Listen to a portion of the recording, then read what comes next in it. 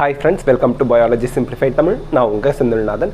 தமிழக மாணவர்களோட நிலைமை இன்னைக்கு எப்படி இருக்குது அப்படிங்கிறது தான் இந்த வீடியோவில் பார்க்க போகிறோம் அதாவது வந்து பார்த்தீங்கன்னா தமிழ்நாட்டில் வருஷத்துக்கு பத்து லட்சத்துக்கும் மேலே ஸ்டூடெண்ட்ஸ் வந்து டுவெல்த் பாஸ் அவுட் ஆகி வராங்க ஒவ்வொரு வருஷமும்.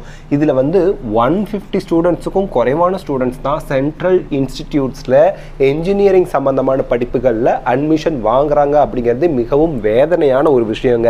ஏன் அப்படின்னு கேட்குறீங்களா தமிழ்நாட்டில் தான் இந்த இந்தியாவிலேயே நம்பர் ஒன் ஐஐடி இருக்குது ஐஐடி மெட்ராஸ். தமிழ்நாட்டில் தான் one of the best NIT இருக்குது என்ஐடி ட்ரிச்சு தமிழ்நாட்டில் இருந்தும் அங்கே இருக்கக்கூடிய தமிழக மாணவர்களோட எண்ணிக்கை ரொம்ப குறைவாக இருக்குது ஃபார் எக்ஸாம்பிள் ஐஐடி மெட்ராஸில் வந்து பார்த்தீங்கன்னா டோட்டல் ஸ்டூடெண்ட்ஸில் ஆறு சதவீத ஸ்டூடெண்ட்ஸ் மட்டும்தான் தமிழ்நாட்டிலேருந்து போய் படிக்கிறவங்களா இருக்காங்க. மீதி தொண்ணூற்றி நாலு சதவீத ஸ்டூடெண்ட்ஸ் வந்து அதர் ஸ்டேட்லேருந்து வருவாங்க. அதில் வந்து பார்த்தீங்கன்னா முக்கியமாக ஆந்திர பிரதேஷ் அண்ட் தெலுங்கானாலேருந்து வர ஸ்டூடெண்ட்ஸோட எண்ணிக்கை ரொம்ப ஜாஸ்தியாக இருக்குது இந்த வருஷம் எழுநூற்றி தொண்ணூத்தொம்பது ஸ்டூடெண்ட்ஸ் அட்மிஷன் போட்டாங்க டூ தௌசண்ட் நைன்டி டு டுவெண்ட்டியில் அதில் நூற்றி ஐம்பத்தி நாலு ஸ்டூடெண்ட்ஸ் ஆந்திர பிரதேஷ்லேருந்தும் நூற்றி நாற்பத்தி நாலு ஸ்டூடெண்ட்ஸ் தெலுங்கானாலேருந்தும் ஜாயின் பண்ணியிருக்காங்க அப்போ அவங்களாம் எவ்வளோ காம்படிட்டிவாக படிக்கிறாங்க அப்படிங்கிறத நம்ம பார்க்கணும். நெக்ஸ்ட்டு என்ஐடி திருச்சியில் வந்து பார்த்தீங்கன்னா இருபத்தெட்டு ஸ்டூடெண்ட்ஸ் தான் தமிழ்நாட்டிலேருந்து ஜாயின் பண்ணியிருக்காங்க. அதுவும் முப்பது சதவீத உள் ஒதுக்கீடு இருக்குங்க. நமக்கு தமிழ்நாட்டு ஸ்டூடெண்ட்ஸுக்கு என்ஐடி திருச்சியில் படிக்கிறதுக்கு தேர்ட்டி பர்சன்ட் இன்டர்னல் ரிசர்வேஷன் இருக்குது அதில் போனவங்க இந்த இருபத்தெட்டு பேர். அதர் தென் தட் ஜென்ரலாக ஆல் இண்டியா கோட்டாவில் எத்தனை பேர் ஜாயின் பண்ணியிருக்காங்க பாருங்கள் ஆயிரத்தி ஐநூற்றி நாற்பத்தஞ்சு பேர் தெலுங்கானால இருந்தோம். என்ஐடி திருச்சியிலங்க ரெண்டாயிரத்தி முந்நூற்றி நாற்பது பேர் ஆந்திர பிரதேஷ்ல இருந்தோம். ஆயிரத்தி அறுநூத்தி அறுபத்தெட்டு பேர் ராஜஸ்தான்ல இருந்தோம். ஐநூற்றி பதினேழு பேர் மகாராஷ்டிரால இருந்தோம். முப்பத்தேழு பேர் ஒரிசால இருந்தும் ஜாயின் பண்ணியிருக்காங்க. தமிழ்நாட்டில இருந்து தமிழ்நாட்டில் இருக்கக்கூடிய என்ஐடி திருச்சியில் இருபத்தெட்டு ஸ்டூடெண்ட்ஸ் தான் இன்ஜினியரிங் ஜாயின் பண்ணியிருக்காங்க அப்படிங்கிறது ரொம்பவே வருத்தப்பட வேண்டிய ஒரு விஷயம்ங்க.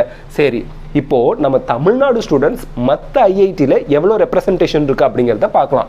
ஐஐடி ஹைதராபாத்தை பொறுத்த வரைக்கும் ஒன்லி செவன் தமிழ்நாடு ஸ்டூடெண்ட்ஸ் தான் இருக்காங்க இப்போது ஐஐடி கான்பூரில் ஆறு தமிழ்நாடு ஸ்டூடெண்ட்ஸ் தான் படிச்சுட்டு இருக்காங்க. ஐஐடி காராக்பூரில் பதிமூணு தமிழ்நாடு ஸ்டூடெண்ட்ஸ் தான் இருக்காங்க. அப்போது தமிழ்நாடு ஸ்டூடெண்ட்ஸுக்கு அறிவு இல்லையா? நாலேஜ் இல்லையா? அவங்களால காம்படிட்டிவ் எக்ஸாமினேஷன்லாம் பாஸ் பண்ண முடியாத ஒரு சுச்சுவேஷனில் இருக்காங்களா அப்படிங்கிற ஒரு கேள்வி இங்கே எழுது. இந்த இடத்துல ஒரு பேசிக்கான ஒரு விஷயத்தை நம்ம புரிஞ்சுக்கணும். ஆந்திர பிரதேஷ் ராஜஸ்தான் மகாராஷ்டிரா ஒடிசா தெலுங்கானா ஸ்டூடெண்ட்ஸ்லாம் அவுட் பர்ஃபார்மராக இருக்காங்க. நம்மளையும் தாண்டி நம்மளை விட அதிக மார்க் வாங்கி நம்ம நம்ம ஸ்டேட்டில் இருக்கக்கூடிய என்ஐடி ஐஐடிலலாம் வந்து சூப்பராக படிச்சுக்கிட்டு இருக்காங்க. ஏன்?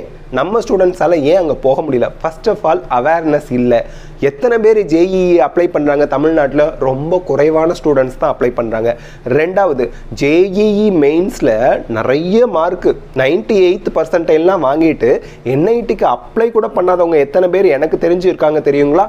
தென் நம்ம ஸ்டேட்டில் மட்டும்தான் என்ஜினியரிங்க்கு என்ட்ரன்ஸ் கிடையாது.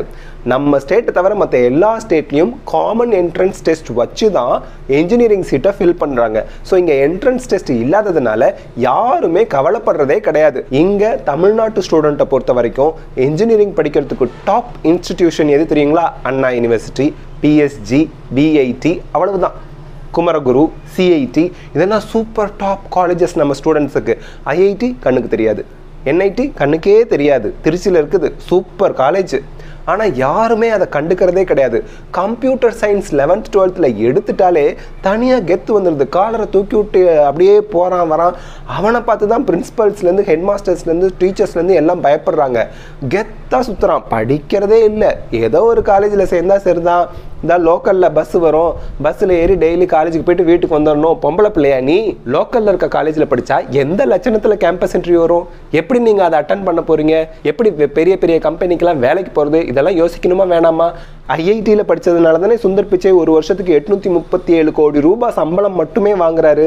இதெல்லாம் கொஞ்சம் யோசிச்சு பார்க்கணும். Come out of your comfort zone வெளியூரெல்லாம் போய் படிக்கணும்னு நினைங்க. தமிழ்நாட்டை விட்டு தாண்ட மாட்டான் நம்ம ஆளுங்க. தமிழ்நாட்டில் இருக்கக்கூடிய பெட்டர் காலேஜில் படித்தா போதும். வெளி ஸ்டேட்டுக்கெலாம் போனால் நம்மளை வந்து ரேகிங் பண்ணுவாங்களாம். அங்கே குரூப்பிசம் பண்ணுவாங்களாம். அதெல்லாம் ஒன்றுமே கிடையாது. இங்கே பாருங்கள் அதர் ஸ்டேட்காரங்க எப்படி தங்கம் மாதிரி நம்ம காலேஜஸில் வந்து படிச்சுட்டு இருக்காங்க நம்ம இன்ஸ்டிடியூஷன்லலாம் வந்து படிச்சுக்கிட்டு இருக்காங்கன்னு அவங்களெல்லாம் நம்ம டார்ச்சர் பண்ணுறோமா ஓட ஓட விரட்டுறோமா? அவங்களெல்லாம் வந்து தற்கொலை பண்ணிக்க வைக்கிறோமா? இதே சுச்சுவேஷன் தான் அங்கேயும். நீங்கள் அதர் ஸ்டேட் போகிறீங்க அப்படின்னாலே அங்கே வந்து உங்களுக்கு தனியாக மரியாதை கொடுப்பாங்க. உங்களுக்கு வந்து உங்களை டார்ச்சர் பண்ண மாட்டாங்க. நல்லபடியாக பார்த்துக்குவாங்க ஏங்க நம்ம அம்மா அப்பா நம்மளை எப்படி பார்க்குறாங்க நம்ம ஃப்ரெண்ட்ஸை எப்படி பார்க்குறாங்களோ அப்படி தான் அதர் ஸ்டேட்டில் இருக்கக்கூடிய மக்களும் நம்மளை பார்ப்பாங்க. பாசமாக தான் நடத்துவாங்க. ஓட்ட மாட்டாங்க. நம்ம அப்படி நினச்சிக்கிட்டா அது நம்ம மேலே தப்பு. தயவு செய்து அதர் ஸ்டேட்டுக்கு போனால் நம்மளை வந்து ஓட்டுவாங்க ரேகிங் பண்ணுவாங்க சூசைட் பண்ணிக்க வச்சுருவாங்க அதெல்லாம் ஒன்றுமே கிடையாது. இது எல்லாமே கட்டுக்கதைகள். கட்டுக்கதைகளை நம்பி உங்களோட முன்னேற்ற பாதைக்கு நீங்களே முட்டுக்கட்டை போட்டுக்காதீங்க. தயவு செய்து இந்த வீடியோவை எல்லாருக்கும் ஷேர் பண்ணுங்கள் நீங்கள் கம்ப்யூட்டர் சயின்ஸ் ஸ்டூடெண்ட்டாக இருந்தாலும் சரி பயோ மேத்ஸ் ஸ்டூடெண்ட்டாக இருந்தாலும் சரி தயவு செஞ்சு ஜேஇஇ மெயினுக்கு அப்ளை பண்ணுங்கள் ஜனவரி பதினாறாம் தேதி கடைசி நாள் அப்ளிகேஷன் போடுறதுக்கு. மேபி அந்த பிப்ரவரி முடிஞ்சதுக்கப்புறம் மார்ச் ஏப்ரல் மேலே ஒரு சர்டன் பீரியட் வந்து நீங்கள் ஃப்ரெஷ்ஷாக அப்ளிகேஷன் போட அவங்க வந்து ஓப்பன் பண்ணலாம். உங்களுக்கு ஜேஇயில் நல்ல மார்க் வாங்கணுங்கிற வெறி எண்ணம் இருந்தால் இப்போவே அப்ளை பண்ணுங்கள் எதுக்காக வெயிட் பண்ணுறீங்க இப்போ முதல்ல எல்லாரும் போய் ரெஜிஸ்ட்ரேஷன் பண்ணுங்கள் நல்ல காலேஜில் இன்ஜினியரிங் கிடைச்சா நல்லா போய் படிங்க. கேம்பஸ் இன்டர்வியூவில் பெட்டர் பிளேஸ்மெண்ட் வாங்குங்க. மாதத்துக்கு மூணு லட்சத்துலேருந்து அஞ்சு லட்சம் வரைக்கும் சம்பளம் கிடைக்குங்க. ஐஐடியில் படித்தா எடுத்ததுமே ஈஸியாக ஃபாரின் பிளேஸ்மெண்ட்லாம் கிடைக்கும். லைஃப் ரொம்ப சொஃபிஸ்டிகேட்டடாக சூப்பராக இருக்கும். நீங்கள் கடைசி வரைக்கும் பஸ்ஸில் தான் நான் டிக்கெட் வாங்கிட்டு போய் ட்ராவல் பண்ணிவிட்டு பத்தாயிரம் பதினஞ்சாயிரம் சம்பளத்துக்கு வேலைக்கு போனால் போதும் அப்படின்னு நினச்சா அதுக்கு யாரும் பொறுப்பு இல்லை. ஆனால் ஃப்யூச்சரில் புலம்பக்கூடாது. வீணாக போன இன்ஜினியரிங் எடுத்ததுனால வீட்டில் உட்காந்துட்டு இருக்கேன்னு. நீங்கள் தான் உங்களோட இப்போ இருக்கக்கூடிய சுச்சுவேஷனுக்கு பொறுப்பு. அதே மாதிரி தான் ஃப்யூச்சரில் நீங்கள் என்ன நிலமையில இருக்கீங்களோ அதுக்கும் நீங்கள் மட்டும்தான் பொறுப்பு. கொஞ்சம் உங்களோட பாடத்தில் படிப்பில் கான்சன்ட்ரேஷன் பண்ணுங்கள் நீங்கள் கம்ப்யூட்டர் சயின்ஸ் ஸ்டூடெண்ட்டாக இருந்தால் கூட ஜேஇஇ கோச்சிங் கிளாஸ் போங்க. மேத்ஸ் ஃபிசிக்ஸ் கெமிஸ்ட்ரியில் நல்ல கான்சென்ட்ரேட் பண்ணி நிறைய கொஷின்ஸை ப்ராக்டிஸ் பண்ணி ஜேஇஇயில் ஒரு அவுட் பர்ஃபார்மராக வரணும். நல்ல மார்க் வாங்கி என்ஐடியில் சேரணும் ஐஐடியில் சேரணும் அப்படிங்கிற ஒரு குறிக்கோளை இன்றைக்கி ஃபிக்ஸ் பண்ணுங்கள் தொடர்ந்து படிங்க. And current year first year engineering ஸ்டூடெண்ட்டோ first year BSc physics chemistry maths ஸ்டூடெண்ட்டோ நீங்களும் கூட ஜேஇஇக்கு அப்ளை பண்ணி நல்ல மார்க் வாங்கினா அதை ரிசைன் பண்ணிவிட்டு ஐஐடியில் என்ஐடியில் போய் ஜாயின் பண்ணணும் அப்படிங்கிற ஒரு எண்ணத்தை மனசில் கொண்டு வாங்க. காலேஜ் ஸ்டூடெண்ட்ஸ்க்குலாம் எவ்வளோ ஃப்ரீ டைம் இருக்குது இப்போ குவாரண்டைனில் சும்மாவே தான் இருக்கீங்க. ஒரு வருஷமாக கிட்டத்தட்ட பிஎஸ்சி ஃபிசிக்ஸ் கெமிஸ்ட்ரி மேத்ஸ் படிக்கிறவங்க இன்ஜினியரிங் ஸ்டூடெண்ட்ஸ்லாம் உட்காந்து படிக்கலாம்ல.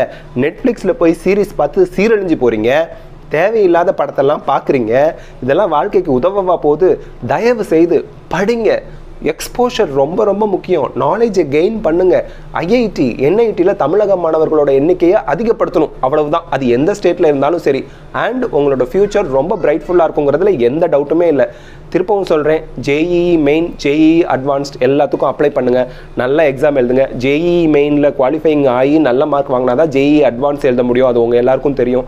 தயவு செய்து நீங்கள் ஜேஇஇ மெயினுக்கு அப்ளை பண்ணி நல்லபடியாக அதுக்கு ப்ரிப்பேர் பண்ணி போய் நல்ல மார்க் வாங்கி நல்ல என்ஐடி ஐஐடி எல்லாம் போய் சீட்டை செக்யூர் பண்ணி நல்லா படித்து ஃப்யூச்சரில் பெரிய ஆளாக வரணும் அப்படின்னு நான் கடவுள்கிட்ட வேண்டிக்கிறேன். நீங்கள் என்ன நினைக்கிறீங்கிறத பொறுத்து தான் உங்கள் ஃப்யூச்சர் இருக்குது all the best best of luck God bless you thank you